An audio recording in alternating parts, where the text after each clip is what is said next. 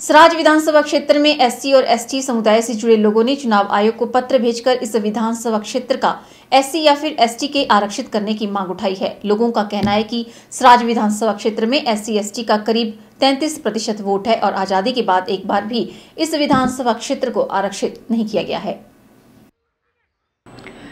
विधानसभा चुनावों के दौरान आरक्षण का मुद्दा भी गर्माता हुआ नज़र आ रहा है। प्रदेश में बहुत से ऐसे विधानसभा क्षेत्र हैं जो आज दिन तक एस सी के लिए आरक्षित ही नहीं हुए हैं। और इन्हीं में से एक है सराज विधानसभा क्षेत्र। पहले इस विधानसभा क्षेत्र का नाम चच्योट था, लेकिन वर्ष 2012 को डिलिमिटेशन के कारण इसे सराज का नाम दिया गया। इस विधानसभा क्षेत्र पर शुरू से ही ठाकुरों का अधिक वर्चस्व रहा है। सिर्फ़ एक बार पंडित प्रत्याशी को जीत मिली थी, जबकि एस सी के प्रत्याशी तो यहाँ कभी नज़र भी नहीं आए। यही कारण है, इस विधानसभा क्षेत्र में एससी और एसटी समुदाय से जुड़े लोगों ने चुनाव आयोग को पत्र भेजकर इस विधानसभा क्षेत्र को एससी या फिर एसटी के आरक्षित करने की मांग उठाई है।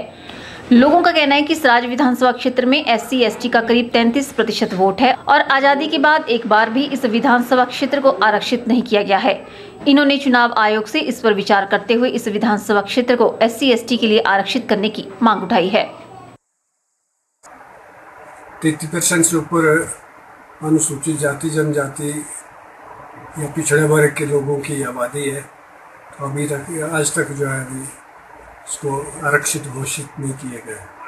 तो हम केंद्र सरकार से ये प्रार्थना कर रहे हैं कि इस सराज चुनाव क्षेत्र को जो है आरक्षित घोषित किया जाए।